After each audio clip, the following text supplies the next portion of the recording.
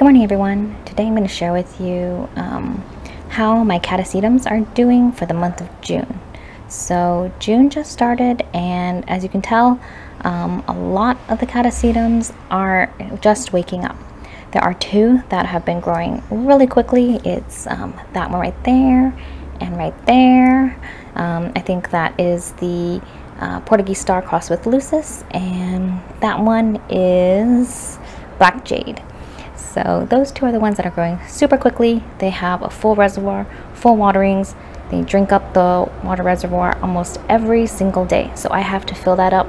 And the temperature here now is around 80s in the morning and then at night it goes to about 60. So it's kind of the perfect weather for catasetum growing. Also, this specific area gets about 8 hours of sunshine a day, so full bright light, no covering at all, and the rest of the time it's in full shade.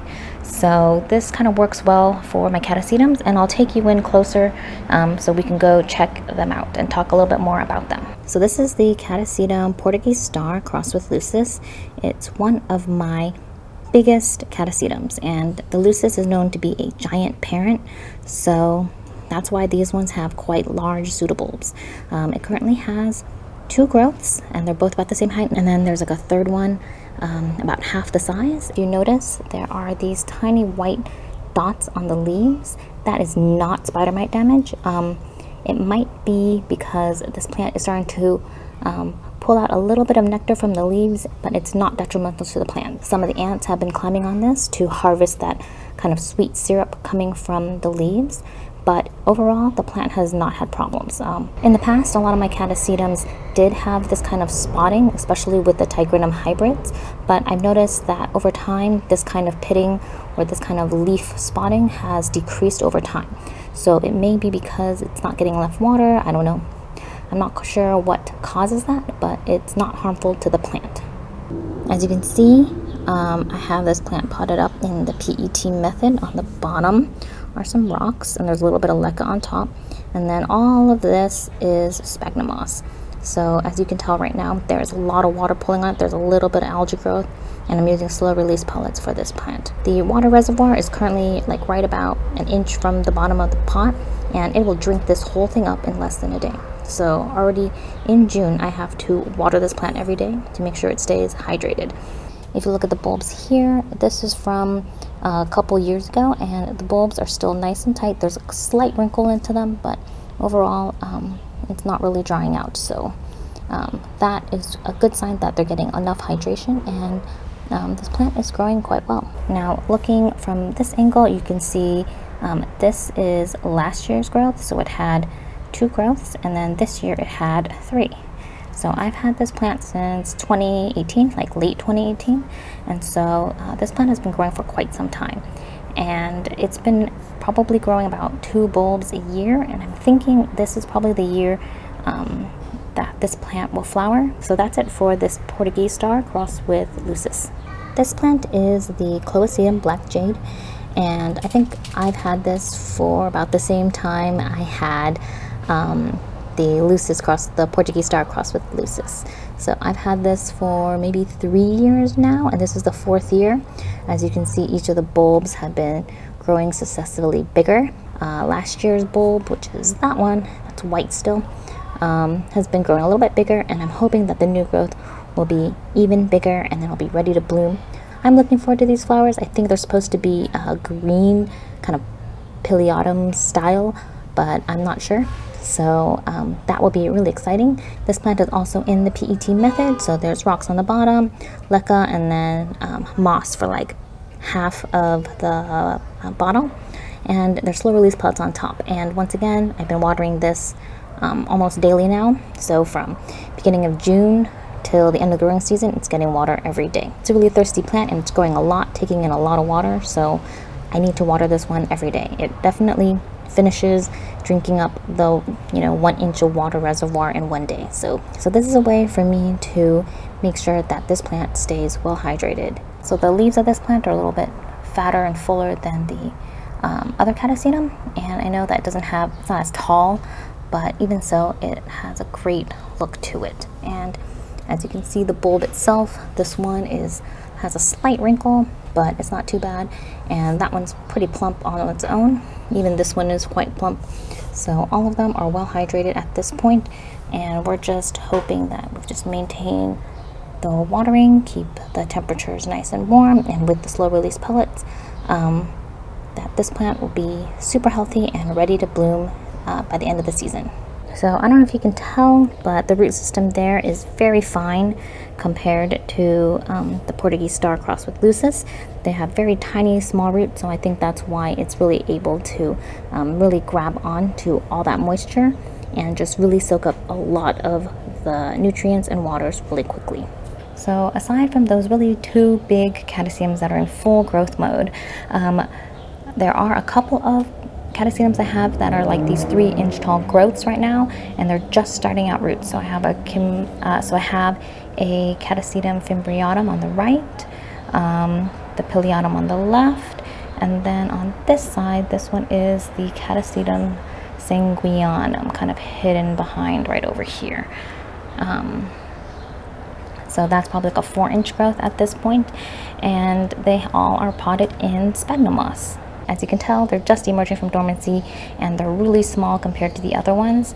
So they have some catching up to do before I feel like these are considered mature blooming size plants I started missing these plants about a month ago, maybe a little bit more, because we've been having a couple of heat waves and we're on our third one now. So the humidity drops to like 10% during that time. And so that's how a lot of these plants start suffering because they get too dehydrated and they don't get any water and they just kind of suffer. So I tend to miss these plants a little bit, keep them moss just lightly moist. Um, I'm not doing any full waterings right now, but just so that um, the humidity is a little higher to help encourage growth from these plants. Um, also, the temperatures have just been heating up now as a consistent level. Um, and so I think these ones are emerging from dormancy a lot later than they usually do. Behind those plants, these ones are also three inch size. Um, this one is the Monnierara Millennium Magic. This one is the Clowesia Warscewiczii, and that one is, I think, a cross between hmm, Grace Dunn and Dodsoniana. So those ones also are just emerging roots right now. Now, as for the rest of my collection, they are just waking up now. So the Clowesia Rebecca Northen has a tiny new growth right there. And the Clowesia Chilla has a tiny one over there. And just looking at the runs all around, you'll see they have all these tiny little growths. They're not really ready for watering, but I am continuing to um, mist them to just increase the humidity and it's in a warm sunny place to encourage them to start growing and coming out of dormancy so that um, we can start seeing some new growth from some of these plants.